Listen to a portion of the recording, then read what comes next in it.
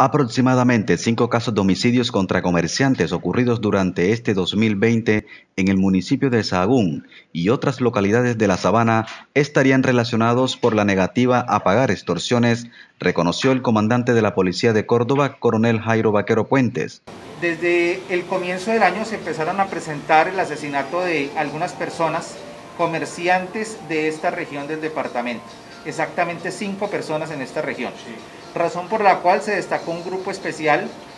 eh, que se trasladó hasta el lugar de los hechos para investigar cada uno de estos homicidios y tienen una relación directa con la extorsión. El coronel Jairo Vaquero sostuvo que en los próximos días habrá resultados importantes frente a las investigaciones de estos asesinatos contra comerciantes en esta subregión e invitó a la ciudadanía a denunciar cuando sean víctimas de este flagelo.